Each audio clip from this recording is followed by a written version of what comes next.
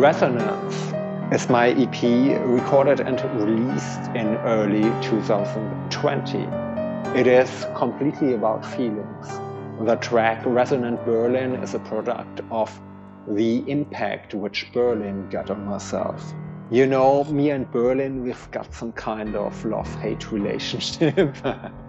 the chord progression in this track is inspired by a movie soundtrack by the composer Johnny Klimek. The synthesizer sequence, which you can hear on this track, reflects the other part of my musical preference. I've got a thing going on for harsh and aggressive EBM, industrial and dark techno music.